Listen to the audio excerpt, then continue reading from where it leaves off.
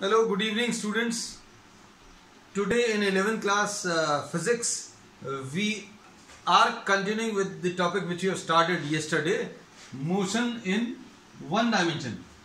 Motion in one dimension बच्चों अभी हम लोगों ने स्टार्ट कर दिया है और इसके पहले अभी हम लोग वेक्टर्स कर चुके हैं तो अभी हम आपको यही बोलेंगे अगर किसी ने वेक्टर्स नहीं किया तो आप इसके लेक्चर्स पहले देख लेना है ना क्योंकि वेक्टर्स का कुछ कुछ कॉन्सेप्ट अभी हम लोग इसमें यूज़ करेंगे तो मोशन इन वन डायमेंशन में वी हैड स्टडीड अबाउट कुछ टॉपिक्स अभी हम लोगों ने ले लिए छोटे छोटे we have studied about what kinematics हम लोगों ने काइनेमेटिक्स पढ़ लिया।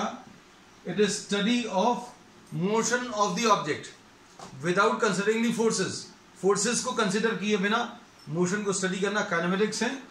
फिर उसके बाद डायनेमिक्स कल की क्लास का एक क्विक रिवीजन अभी हम लोग ले रहे हैं। Dynamics study of motion of the objects considering the effect of the forces as well forces को अगर कंसिडर कर लें तो जो स्टडी रहेगी study of motion of the object that will be termed as dynamics और इन दोनों को मिलाकर ये जो अभी हम लोग पढ़ रहे हैं that is mechanics and mechanics forms a very important portion of the syllabus of eleven class है अब इसके बाद फिर अभी हम लोगों ने इसमें लिया था rest and motion rest and motion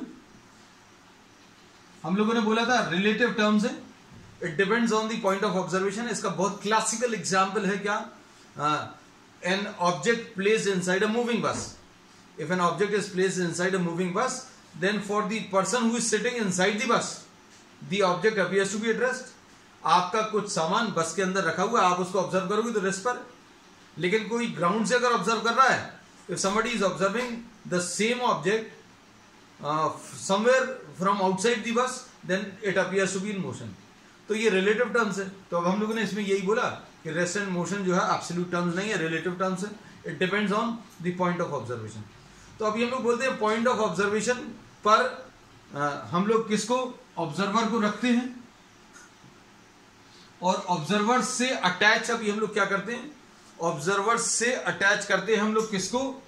coordinate axis और कोऑर्डिनेट एक्सिस के रिस्पेक्ट में हम लोग पोजीशन मेजर करते हैं. Coordinate axes plus the measurement of time this forms what is termed as the frame of reference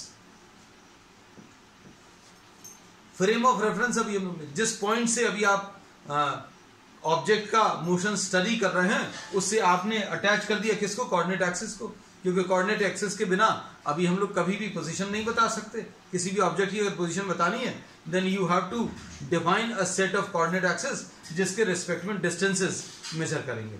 और उसी के रिस्पेक्ट में पोजीशन अगर चेंज हो रही है तो ऑब्जेक्ट मोशन में है और अगर किसी ओरिजिन के रिस्पेक्ट में या किसी फ्रेम के रिस्पेक्ट में अगर पोजीशन चेंज नहीं हो रही तो रेस्ट पर तो ये पढ़ लिया था फिर उसके बाद अभी हम लोगों ने ये बोला था one dimensional motion two dimensional motion and three dimensional motion अगर किसी मोशन को डिस्क्राइब करने के लिए सिर्फ़ एक वेरिएबल और टाइम की ज़रूरत है तो वन डायमेंशनल मोशन इसका एग्ज़ाम्पल लिया था insect moving on a wire which is fix between two poles फिर टू डायमेंशनल मोशन में X Y and T if the motion of the object can be describe in terms of two variables जैसे suppose कोई example कोई insect इस board के ऊपर move कर रहा है अगर कोई इंसेक्ट इस बोर्ड के ऊपर मूव कर रहा है तो उसकी पोजीशन अभी हम लोगों को किसके टर्म्स में बतानी पड़ेगी? हम लोगों को एक्स और वाई के टर्म्स में। एक्स और वाई ये पोजीशन है। थोड़े समय बाद यहाँ पर आ गया तो एक्स की वैल्यू भी चेंज हो गई वाई की वैल्यू अगर यहाँ कहीं पर आ गया तो एक्स की वैल्यू चेंज हो गई वाई की वैल्यू नेगेटिव हो है ना? So if object is moving on a plane then we say that only x, y and t are required. If the object is flying, if the insect is flying, if the bird is flying, then to describe the motion three variables are required. और motion की बहुत अच्छी definition एक ये भी है। किसके terms में? If any one of the coordinates बहुत ही अच्छी डेफिनेशन है। अगर रेस्ट और मोशन की एक और नई डेफिनेशन आज अभी हम लोग ले रहे हैं। If any of X Y और z changes with respect to time, then the object is in motion.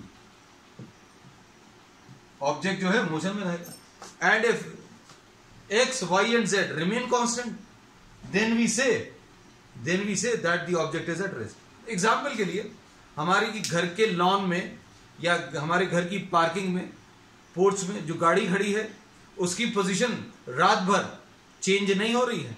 मतलब अगर हमने इस पॉइंट को ओरिजिन माना then the position of my vehicle neither X is changing nor Y is changing not Z is changing with respect to time and the same thing will continue to happen throughout the night लेकिन if I am sitting here and if I am trying to observe X Y and Z with respect to time and somewhere in the night time it happens X Y और Z are changing with respect to time it is a matter of worry मतलब गाड़ी कोई लेकर जा रहा है हम यहाँ पर है और उसको ऑब्ज़र्व कर रहे हैं। क्या ऑब्ज़र्व कर रहे हैं? एक्स वाई जेड ऑब्ज़र्व कर रहे हैं टाइम के रेस्पेक्ट में। और टाइम के साथ साथ अगर एक्स वाई जेड चेंज हो रहा है, मान लीजिए रात में चेंज हो रहा है तो रात में कोई लेकर जा रहा है। दिन में चेंज हो रहा है तो दिन में लेकर जा रहा है। हम तो सिर्फ़ आपको सिर्फ़ समझाने के लिए एक एग्ज़ाम्पल दे रहे थे कि रात भर एक्स वाई जेड की value with respect to time change नहीं होगा चलो, अब आ जाए आगे नेक्स्ट टॉपिक पर, है ना? तो बच्चों, इसमें फिर अभी हम लोगों ने एक एग्ज़ाम एक और कॉन्सेप्ट दिया था पॉइंट ऑब्जेक्ट का, है ना? अभी हम लोगों ने ये बोला था, बच्चों, कभी भी मोशन ऑफ़ द कार अगर स्टडी करना है मोशन ऑफ़ द ट्रेन अगर स्टडी करना है तो अभी हम लोग कभी भी इतनी बड़ी कार या इतनी बड़ी ट्रेन नहीं बनाने वाले। We will be assuming the very large size object into what into a point तो पॉइंट ऑब्जेक्ट क्या है? पॉइंट ऑब्जेक्ट का कॉन्सेप्ट बहुत इंपॉर्टेंट है, बच्चों मैकेनिक्स में। There is nothing as such which can be compare to a point in actual life है ना? कोई भी ऑब्जेक्ट को आप पॉइंट ऑब्जेक्ट जैसा कंपेयर नहीं कर सकते, है ना? क्योंकि ना तो इसमें लेंथ होती है, ना ब्रेथ होती है, ना हाइट होता है। कुछ भी नहीं होता, कोई भी डायमेंशन नहीं होता, है ना? So there is no such practical object which can be compare to a point but for calculation purposes हमारे पूरे मैकेनिक्स में हम लोग कैलकुलेशन के लिए ऑब्जेक्ट्स को पॉइंट ऑब्जेक्ट जैसा मान लेते हैं। जैसे एग्ज़ाम्पल के लिए if you are trying to move, if you are trying to move from here to Delhi, the distance covered is suppose 670 kilometers. Distance covered will be 670 kilometers. इसमें x भी change होगा y भी change होगा हो सकता है z भी change हो क्यों क्योंकि हो सकता है देर इज अ स्लोप है ना so if you are moving in a car then the value of X Y Z may change X Y Z change होगा है ना लेकिन इसमें अभी हम लोग क्या बोल सकते हैं? कि size of the object size of the car is very small as compare to the distance travelled अगर size of the distance travelled is very very small as compare to the distance travelled then it can be assume to be a point object तो आप car को एक point जैसा मान सकते हो। Car जितने भी साइज़ की है, उसका size as compare to the distance आप एक छोटा सा पॉइंट ले सकते हो। चलो, अब आ जाते हैं नेक्स्ट कॉन्सेप्ट पर, बच्चों, है ना? अब नेक्स्ट कॉन्सेप्ट है, बच्चों, अभी हम लोग जो ले रहे हैं that is what the distance next concept जो अभी हम लोग ले रहे हैं distance and displacement this is a very important concept क्योंकि यहीं से अभी हम लोग कहते हैं मोशन इन वन डायमेंशन जो है, वो एक्चुअल में स्टार्ट हो रहा है। मोशन इन वन डायमेंशन को अभी हम लोग लीनियर मोशन भी बोलते हैं।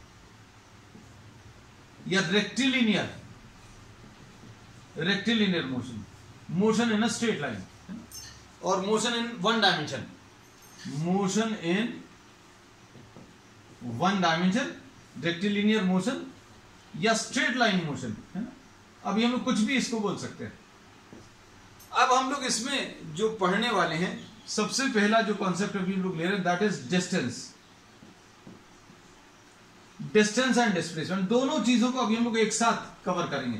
Since we studied about vectors तो डिस्प्लेसमेंट भी अभी हम लोग बता पाएँगे। जिन लोगों ने नहीं पढ़ा नथिंग टू वरी अबाउट हम कॉन्सेप्चुअली आपको ऐसे एक्सप्लेन करेंगे कि सारी चीज़ें एकदम क्लियर हो। जाए तो अभी हम लोग ये कहते हैं suppose if you are moving from A to B suppose you are moving from one station to another station suppose you are moving from Agra to Delhi this is Delhi तो इसमें हम लोगों ने कौन सा इसमें पाथ फॉलो किया, ये तो पता नहीं।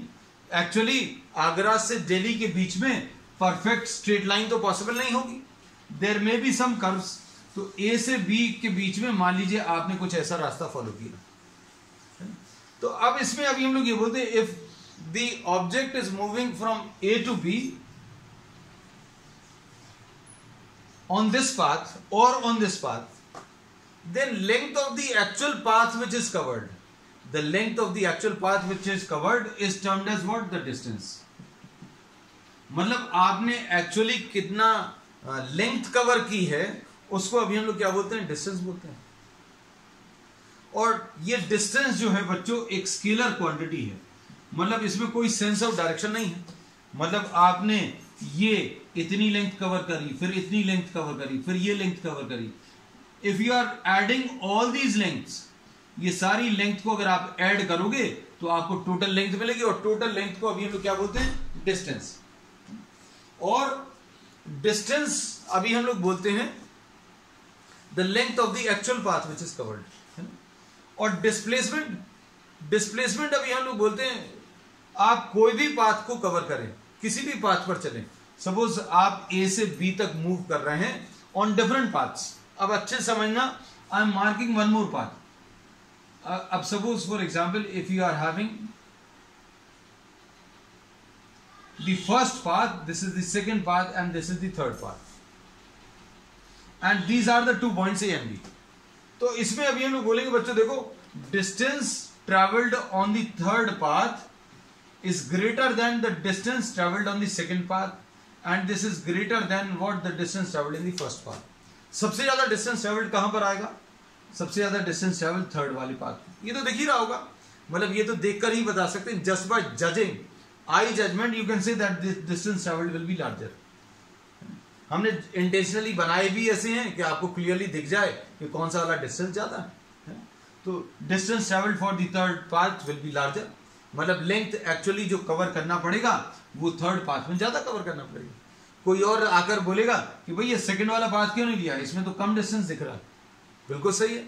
So we say that distance covered in the second path will be smaller third वाले पार्ट में सॉरी फ़र्स्ट वाले में और भी कम आएगा।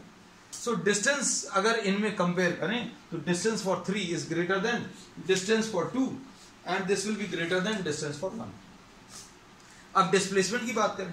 तो डिस्प्लेसमेंट बच्चों, अभी हम लोग कहते हैं it is the shortest distance joining the initial to the final position अब डिस्टेंस बच्चों क्या है? Length of the actual path. Displacement के बारे में क्या बोल रहे हैं? डिस्प्लेसमेंट की सिंपल सी डेफिनेशन अभी हम लोग लिख ले रहे हैं। क्या?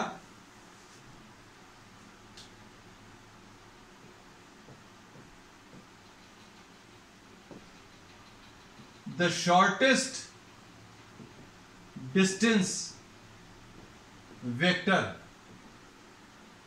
joining the initial to the final position.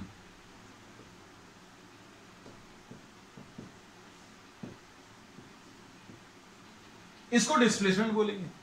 हो सकता है ये फिजिकली एग्जिस्ट नहीं करे। फिजिकली एग्जिस्ट नहीं करे मतलब क्या है? हो सकता है भाई ये जो शॉर्टेस्ट डिस्टेंस वाला रास्ता है, आप उस पर चल नहीं पाए हमें इससे मतलब नहीं है। I am saying that the shortest distance vector joining the initial position this is the initial position and this is what the final position इसको ज्वाइन करने वाला बच्चों शॉर्टेस्ट डिस्टेंस वेक्टर वो डिस्प्लेसमेंट कहलाए। है ना? हो सकता है इधर बीच में एक रिवर आ रही हो हो सकता है बीच में एक बिल्डिंग आ रही हो, है ना? Shortest distance but physically we say that displacement is what the shortest distance vector joining the initial to the final position अब देखो, अब इसमें क्या कह सकते हैं? डिस्टेंस और डिस्प्लेसमेंट में से कौन सा ज़्यादा है? डिस्टेंस और डिस्प्लेसमेंट से बच्चों कौन सा ज़्यादा है? तो देखकर अभी हम लोग कह सकते हैं कि डिस्टेंस जो है it will always be larger distance travelled will always be larger displacement displacement जो है, देखो, ये कम रहेगा, है ना? ये हो सकता है एग्जिस्ट करे, हो सकता है फिजिकली नहीं भी एग्जिस्ट करे। लेकिन shortest distance vector joining the initial to final position आप किसी भी पाथ पर मूव कर रहे हो, जैसे आपने यहाँ से चलना शुरू किया, और आप इसमें कैसा चले फाइनल पोजीशन ये आ गई। डिस्प्लेसमेंट बताना तो कैसे बताओगे? इनिशियल पोजीशन लो और फाइनल पोजीशन लो, उनको ज्वाइन कर दो। बहुत सिंपल सी चीज़ है। इनिशियल पोजीशन ले लो और फाइनल पोजीशन ले लो, दोनों को ज्वाइन कर दो। और एक एरो लगा दो। एरो कहाँ से कहाँ की तरफ़ रहेगा? इनिशियल पोजीशन से फाइनल पोजीशन की तरफ़। तो अब हम लोग इसको सिंपल कह सकते हैं कि बच्चों, ये जो है डिस्प्लेसमेंट ये एक वेक्टर क्वांटिटी है। This is a vector quantity और ये डिस्टेंस जो है बच्चों, एक स्केलर है। स्केलर में अभी आप कभी भी डायरेक्शन नहीं बताते, है ना? अभी हम लोग इसमें ये कहते हैं कि अभी हम लोग कभी भी ये नहीं बताते कहाँ से चलकर कहाँ पर पहुँचे, है ना? अभी हम लोग ये बोलते हैं कि भाई फ़र्स्ट वाले पर अगर आप चले तो फ़र्स्ट वाले पर हो सकता है डिस्टेंस आपका 60 किलोमीटर हो। ये distance on the second is 70 kilometre और हो सकता है ये 90 किलोमीटर लेकिन आप इसमें किस डायरेक्शन में मूव कर रहे हैं, ये कभी पता नहीं चलता, किसमें? डिस्प्लेसमेंट डिस्टेंस में. तो अभी हम लोग कहते हैं it does not it does not give us any idea about the direction of travel मतलब डायरेक्शन का सेंस नहीं रहता. It just gives you what the length of the actual path covered इसने एक्चुअली कितनी लेंथ कवर करी है, वो अभी हम लोगों को डिस्टेंस से पता चलता है.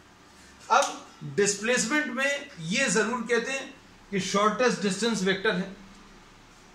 और उसमें ये पता चलता है कि ये इनिशियल पोजीशन है, ये final position and initial position to final position ये डायरेक्शन ऑफ़ द वेक्टर दे देता है. अब देखो, अब हम कुछ चीज़ें आपको बताते चलते हैं. जैसे अभी हम लोग ये दो पॉइंट्स अभी रब नहीं करेंगे. एक ये पहला पॉइंट इसका ये पहला पॉइंट दूसरा वाला ये है, दूसरा ये है.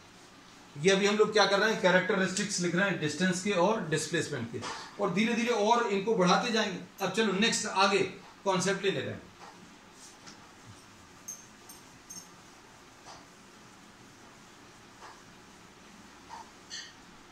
तो डिस्टेंस के बारे में पता चल गया। It gives you what the length of the actual path covered displacement it is the shortest distance vector joining the initial position to the final position तो ये एक वेक्टर क्वांटिटी है। वेक्टर क्वांटिटी है मतलब इसमें दो चीज़ें रहेंगी। एक तो मैग्नीट्यूड रहेगा और दूसरा डायरेक्शन रहेगा। तो डायरेक्शन की अगर बात करें तो बच्चों डायरेक्शन क्या रहेगा? Direction will be from the initial position to the final position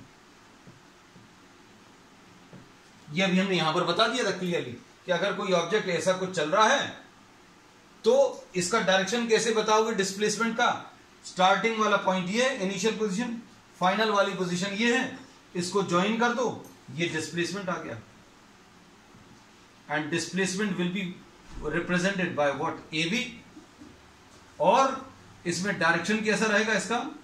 Direction will be from A to B from the initial position to the final position.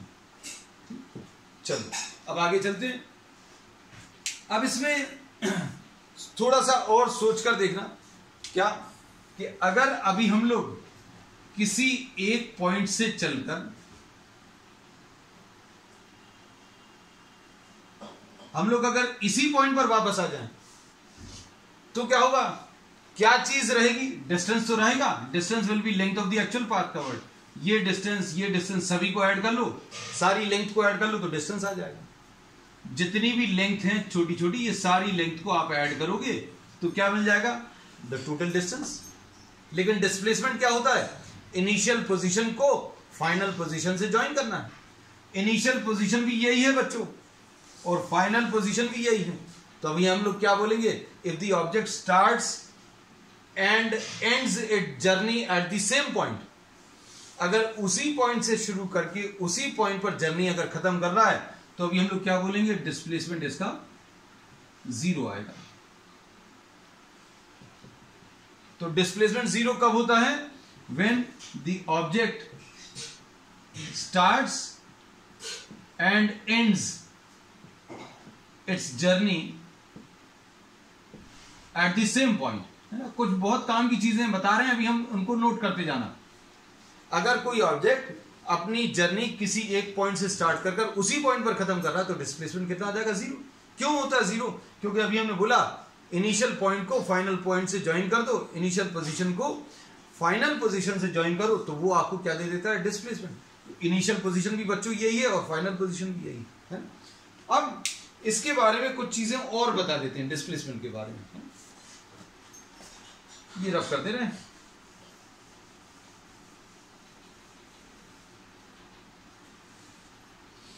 अब इसमें सपोज़ फॉर एग्ज़ाम्पल कोई ऑब्जेक्ट जो है A पर रखा हुआ है। Now we are considering a simple example of motion in a straight line अगर कोई ऑब्जेक्ट स्ट्रेट लाइन पर चल रहा है तो क्या होगा? अगर कोई ऑब्जेक्ट ए से चलकर बी तक गया and if there is a straight line motion मतलब यहाँ से चलकर यहाँ पर गया तो डिस्टेंस कितना होगा? डिस्टेंस यही होगा। डिस्प्लेसमेंट कौन सा होगा? तो डिस्प्लेसमेंट भी बच्चों यही रहेगा। तो अभी हम लोग क्या बोलेंगे? Length of the actual path covered will be A B suppose ये 100 metre say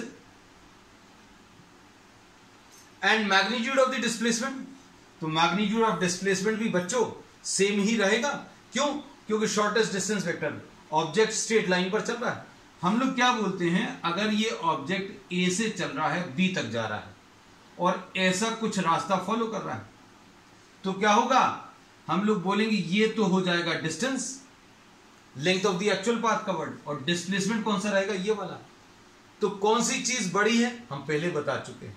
क्या? कि डिस्टेंस ज़्यादा रहेगा, और डिस्प्लेसमेंट कैसा रहेगा? डिस्प्लेसमेंट इसमें कम रहेगा। तो डिस्प्लेसमेंट बच्चों देखो कम है। अगर आप इस रास्ते पर चले तो क्या होगा? डिस्टेंस पहले से तो कम है, लेकिन उससे भी कम क्या है? डिस्प्लेसमेंट का मैग्नीट्यूड अगर इस रास्ते पर चले तो क्या होगा? डिस्प्लेसमेंट जो है डिस्प्लेसमेंट बच्चों अभी भी यही है। डिस्प्लेसमेंट चेंज नहीं हुआ। लेकिन लेंथ ऑफ़ दी पाथ यानी डिस्टेंस अभी भी ज़्यादा है। लेकिन अगर इसी रास्ते पर चले if the object is moving on a straight line, motion in a straight line, from a to b तो क्या बोलेंगे? तो अब हम लोग इसमें ये बोलेंगे, बहुत इंपॉर्टेंट कंक्लूजन है क्या? कि distance will be equal to the magnitude of displacement ठीक है? ये बात समझ में आ गई? तो distance will be equal to what magnitude of displacement नहीं तो अगर कर्ड पाथ पर चल रहे हैं if object does not move on a straight line अगर कोई ऑब्जेक्ट स्ट्रेट लाइन पर नहीं चल रहा है तो क्या होगा? ऐसा कुछ चल रहा है। तो क्या बोलेंगे? डिस्टेंस जो है ज़्यादा रहेगा distance will be greater than the magnitude of displacement. ठीक है, सारी चीज़ें क्लियर करते जा रहे हैं। अब देखो, इसी स्ट्रेट लाइन को, इसी स्ट्रेट लाइन मोशन को अभी हम लोग और आगे कंटिन्यू कर रहे हैं। ठीक है?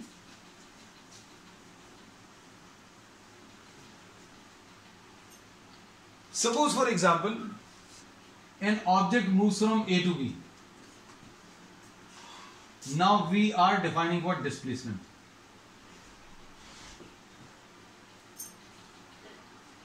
अब ये ऑब्जेक्ट अगर ए से बी मूव कर रहा है तो अभी हमें डिस्प्लेसमेंट बताना है। और डिस्प्लेसमेंट इज़ व्हाट डिस्प्लेसमेंट बताने के लिए अगर हम लोग क्या कर रहे हैं बच्चों, एक ओरिजिन डिफाइन कर रहे हैं। We are taking this as the origin जिसके रिस्पेक्ट में, जिसके रिस्पेक्ट में अभी हम लोग इसकी पोजीशन बताने वाले हैं तो सपोज़ ए पॉइंट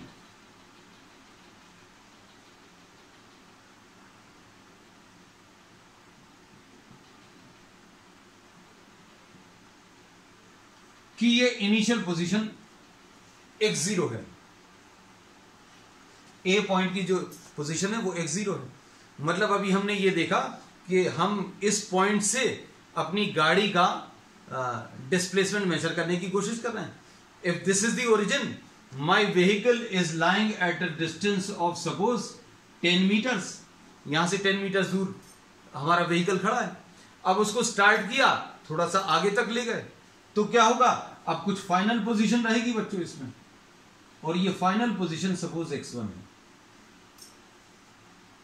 तो क्या होगा बच्चों इसमें? अभी हम लोग क्या कह सकते हैं? We can say that A B the straight line और the shortest distance vector joining the initial position to final position इसको डिस्प्लेसमेंट बोलते हैं। तो डिस्प्लेसमेंट एक्चुअल में हुआ कितना? है हम ओरिजिन से पोजीशन देख रहे हैं। ये ओरिजिन है, बाहर गाड़ी खड़ी है, एक ज़ीरो फिर उसके बाद वो स्ट्रेट लाइन पर मूव करी। Suppose this is moving in straight line तो इसकी फाइनल पोजीशन बच्चों एक्स वन आ गई। तो डिस्प्लेसमेंट क्या आ जाएगा? ए बी अभी हम लोग कह सकते हैं will be equal to O B minus O A O B is what O B is the final position और ओ ए क्या है बच्चों? इनिशियल पोजिशन ये बात तो शायद समझ में आ जाती है बहुत सिंपल सी चीज़ बोली है। सपोज़ ये टेन मीटर है और ये वाला सपोज़ एट्टी मीटर्स है है ना? तो अभी हम लोगों ने बोला था ओरिजिन से टेन मीटर दूर रखी है, जब चलाकर कोई ले गया तो एट्टी मीटर एट्टी मीटर्स दूर चला गया तो एक्चुअल में डिस्प्लेसमेंट कितना हुआ? एक्चुअल में डिस्प्लेसमेंट ये हुआ।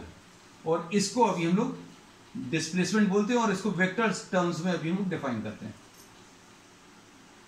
और ये कैसे बताते हैं? A B is the displacement A B is what the displacement और ये कैसे बताते हैं? Vector joining the initial position to final position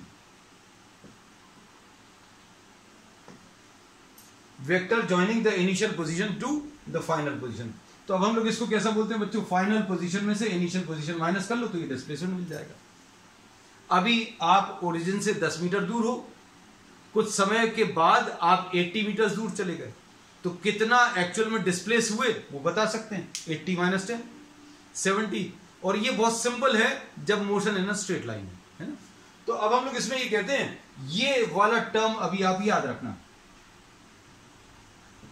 A B ये जो डिस्प्लेसमेंट है, ये फाइनल पोजीशन वेक्टर में से क्या माइनस करेंगे? इनिशियल पोजीशन वेक्टर माइनस करेंगे। ठीक है, चलो, अब आगे चलते हैं। डिस्प्लेसमेंट बच्चों, एक वेक्टर क्वांटिटी है, ये तो अभी हम लोगों ने बता दिया। Displacement is what a vector quantity तो इसमें वेक्टर क्वांटिटी अगर कोई है तो ये बच्चों पॉजिटिव भी हो सकती है नेगेटिव भी हो सकती है ज़ीरो भी हो सकता है। पॉजिटिव तो अभी हमने डिस्कस कर लिया। डिस्प्लेसमेंट पॉजिटिव होना, ये तो डिस्कस कर लिया। डिस्प्लेसमेंट ज़ीरो होना, वो भी डिस्कस कर लिया। ज़ीरो होने का मतलब क्या है? कि आपने जिस पॉइंट से चलना स्टार्ट किया, उसी पॉइंट पर अगर वापस आ जाएँ तो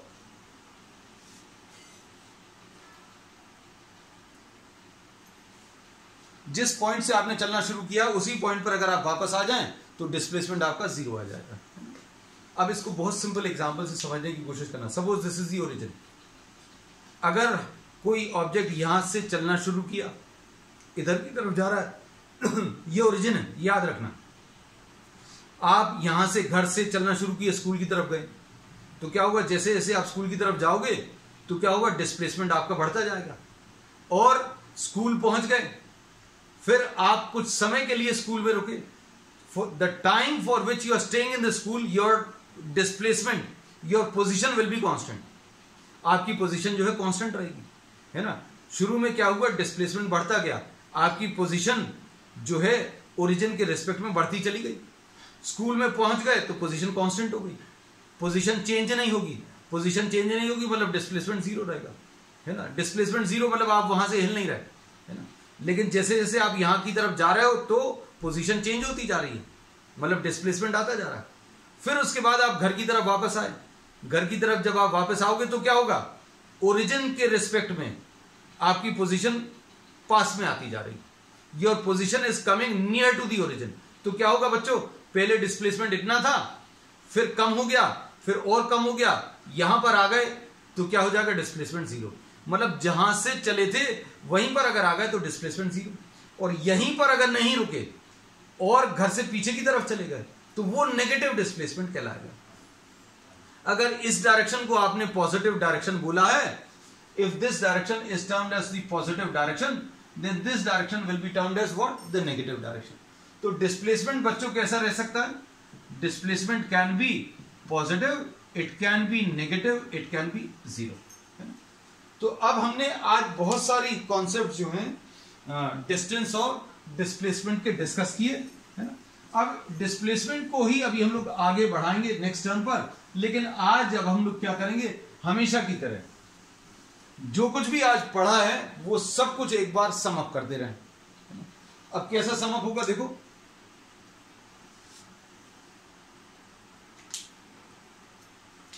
ये distance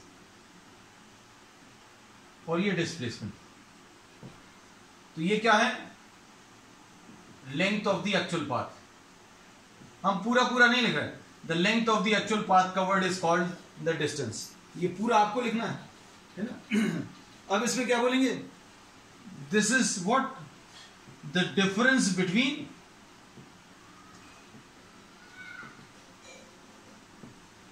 the final and the initial position. या तो ऐसा लिख लू, और the shortest distance vector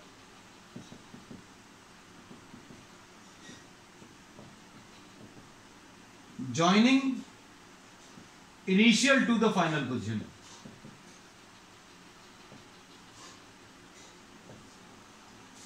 Example अभी आप ले सकते हो इसका।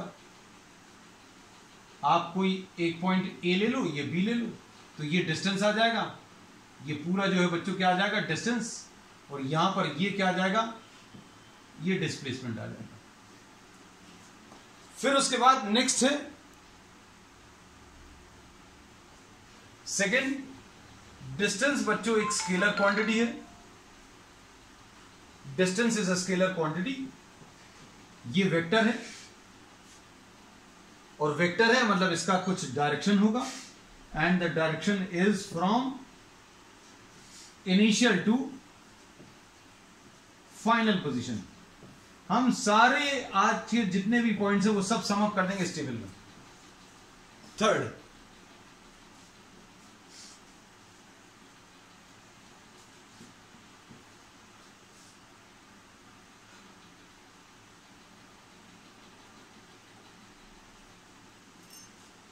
डिस्टेंस कवर्ड बच्चों is always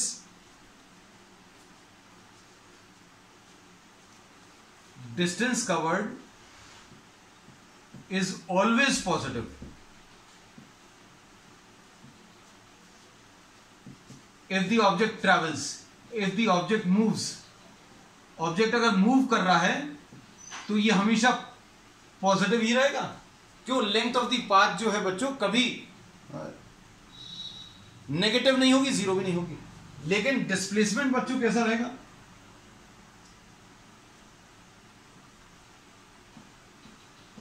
Displacement can be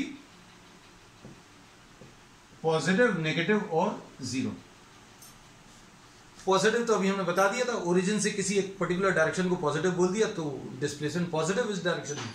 अगर ये डायरेक्शन पॉजिटिव है तो ऑपोजिट वाला जो है बच्चों नेगेटिव रहेगा है ना? चलो। अब इसके बाद फोर्थ, ज़ीरो कब होगा? ज़ीरो बता दिया। If the object start and ends it journey at the same point then we say that the displacement will be zero अब इसके बाद distance depends on the path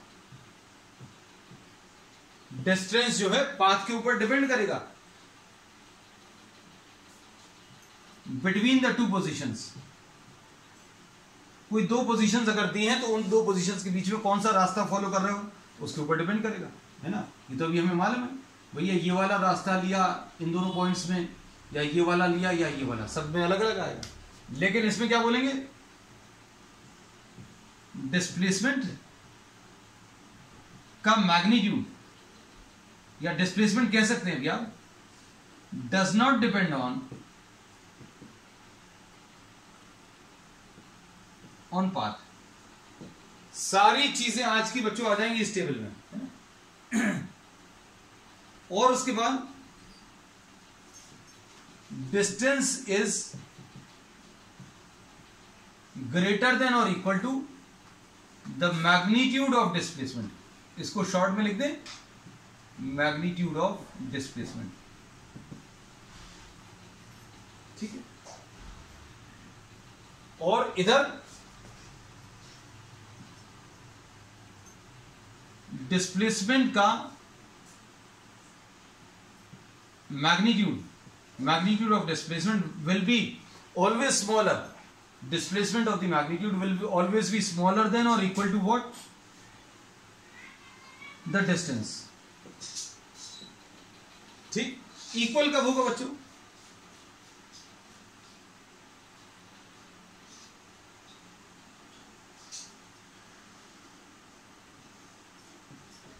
distance जो है gives information about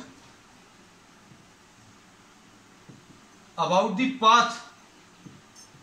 ये path के बारे में बताता है। भाई, कहीं पर ए और बी के बीच में आप जा रहे हो ए से बी तक ट्रैवल कर रहे हो, हमने बोला डिस्टेंस ट्रैवल टेन किलोमीटर से किसी ने बोला, हमने तो ए से बी तक जाने में फिफ्टीन किलोमीटर लगा। तो फिर ऑब्वियसली अभी आप बोलोगे कि भाई आपने कोई लंबा वाला पाथ लिया होगा। इधर क्या हो बोल सकते हैं डिस्प्लेसमेंट आप छोटा वाला पाथ लें या लंबा वाला पाथ लें नो इंफॉर्मेशन अबाउट पाथ कौन सा पाथ फॉलो कर रहे हैं इसके ऊपर डिबेट ही नहीं करता। तो बच्चों ये आ, जो था आज का पूरा discussion that was all about what distance and displacement है। तो पूरे इस, आज की क्लास का जो समरी है, वो अभी हमने आपको इस डायग्राम में दे दिया।